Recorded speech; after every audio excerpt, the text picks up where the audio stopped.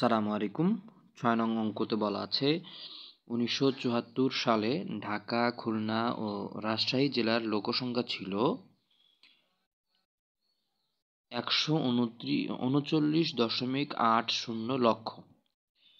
ঢাকার লোক, খুলনার লোক অপেক্ষা চল্লিশ দশমিক পাঁচ পাঁচ লক্ষ বেশি।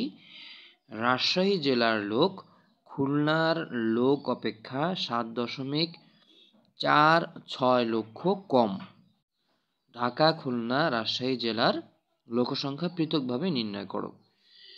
এখানে একটা জিনিস খুবই লক্ষণীয় যে, এই যে খুলনার সাথে অন্য জেলার লোকসংখ্যাকে তুলনা করা হয়েছে, খুলনার সাথে অন্য জেলার লোকসংখ্যা তুলনা করা হয়েছে তো যেহেতু খুলনার সাথে অন্য দুইটি জেলার লোকসংখ্যা তুলনা করা হয়েছে, সেহেতু আমরা কি করব? খুলনা জেলার লোকসংখ্যা এক্স লক্ষ ধরে নেব। সমাধানে কি করব? খুলনা জেলার লোকসংখ্যা এক্স লক্ষ ধরে নেব। তো খুলনা জেলার লোকসংখ্যা এক্স লক্ষ যদি হয়, প্রশ্নে বলেছে, খুলনার অপেক্ষা, খুলনা অপেক্ষা ঢাকার লোকসংখ্যা হচ্ছে চল্লিশ দশমিক পাঁচ পাঁচ লক্ষ বেশি ছিল।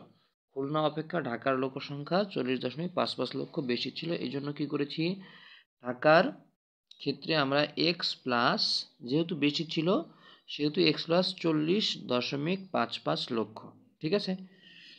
এবং এখানে বলেছে খুলনা অপেক্ষা রাজশাহীর লোক কম ছিল। রাজশাহী অপেক্ষা রাজশাহী জেলার লোক, খুলনা জেলার লোক অপেক্ষা কম ছিল হচ্ছে সাত দশমিক চার ছয় লক্ষ। যেহেতু কম ছিল, সেহেতু আমরা কি করেছি? এক্স থেকে বিয়োগ করে দিয়েছি। এখন কি? খুলনার লোকসংখ্যা, ঢাকার লোকসংখ্যা, আর হচ্ছে রাজশাহী লোকসংখ্যা যোগ করব।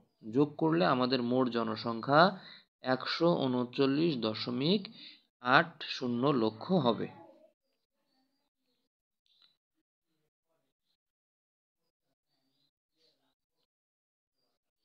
এখন কি করলাম? এখন আমরা যোগ করব।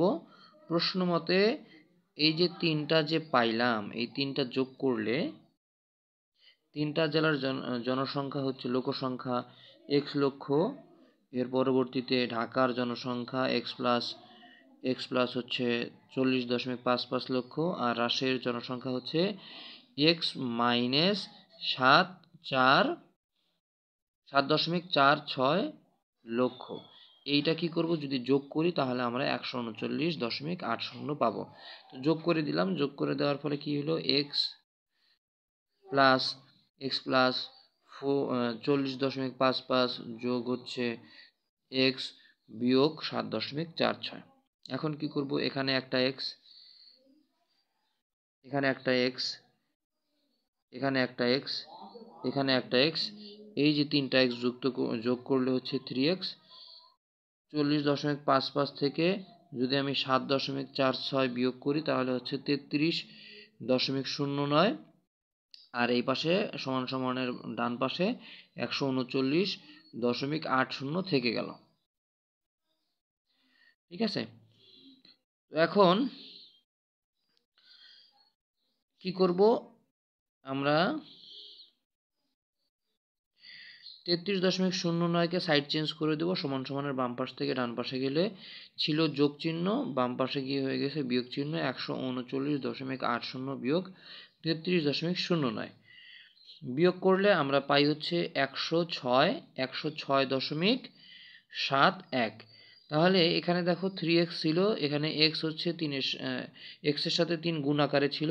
তো তিনকে সাইড চেঞ্জ করলে এই পাশে এসে ভাগ হয়ে গেছে। এই পাশে এসে ভাগ হওয়ার কারণে কী হয়েছে? একশো ছয় দশমিক সাত এক ডিভাইডেড বাই তিন। তাহলে একশো ছয় দশমিক সাত এক ভাগ তিন মানে হচ্ছে পঁয়ত্রিশ দশমিক পাঁচ সাত। তাহলে খুলনা জেলার লোকসংখ্যা কত পেলাম? খুলনা খুলনা জেলার লোকসংখ্যা হচ্ছে পঁয়ত্রিশ দশমিক পাঁচ সাত লক্ষ।